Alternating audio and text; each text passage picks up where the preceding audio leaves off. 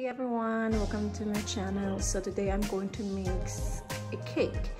Um, this cake is called hummingbird cake.